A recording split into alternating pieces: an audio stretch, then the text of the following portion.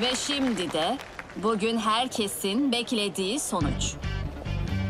Evet, Vidya'nın verdiği son karara göre...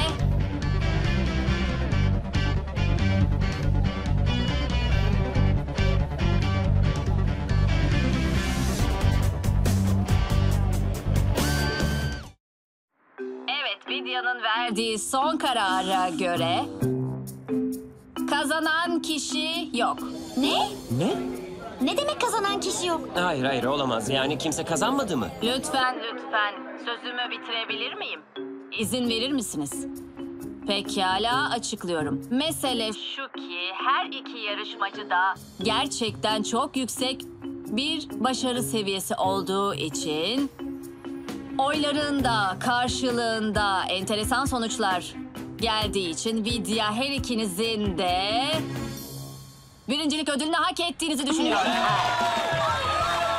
Yapacak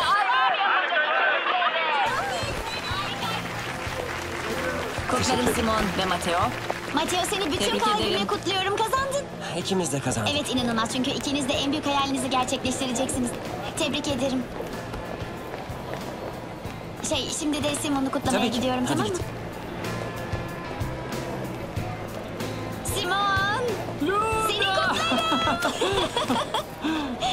Kazandın işte. Ben hala inanamıyorum. Hala inanamıyorum çünkü inanamıyorum. Şaka Evet. sen bir numarasın. Oh vay canına. Teşekkürler. Çok teşekkür ederim. Ne diyeceğimi bilmiyorum. Tebrikler Simon. Teşekkürler Nina. Gerçekten ikinize de teşekkür tamam izin ederim. verelim de başkaları da seni kutlasın olur mu? Pekala.